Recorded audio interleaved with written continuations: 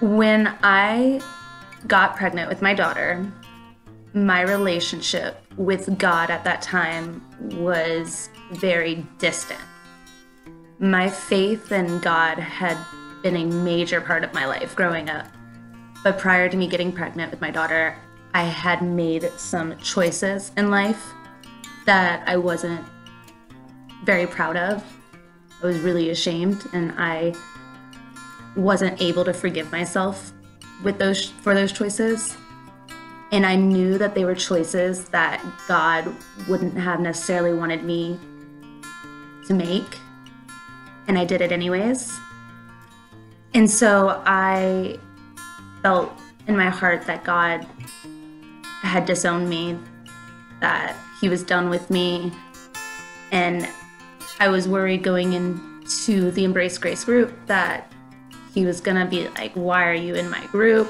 and just not give me the time of day. And then that was gonna be even more rejection in my life. And I already felt so alone. And I didn't know if I could handle any more rejection at that time. But by the end of my Embrace Grace journey, my relationship with God and my faith had been restored. You know, I realized that God had always been there for me. Even when I was not pursuing a relationship with Him, He was still there for me that entire time. He has always loved me, and He forgave me for choices that I made in my past the day that I'd made them. He